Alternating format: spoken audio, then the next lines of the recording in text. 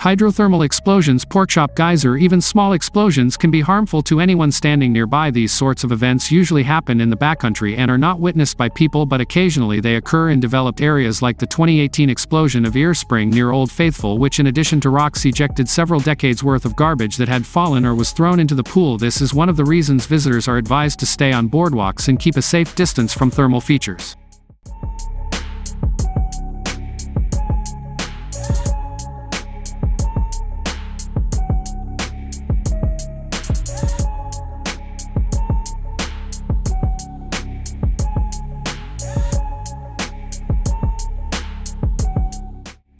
On September 5, 1989, at 2.40 p.m. local time 8 visitors to Yellowstone National Park watched as the eruptions of Porkchop Geyser suddenly increased to heights of 20 to 30 meters 65 to 100 feet. Immediately thereafter the silica sinter surrounding the geyser was thrown into the air as the geyser exploded. It was over in seconds. But during that period rocks over 1 meter 3 feet in size were uprooted, and some smaller material was thrown a distance of over 60 meters 200 feet from the vent the explosion left a crater over 10 meters 30 feet across that was surrounded by a rim of jumbled blocks ejected during the explosion.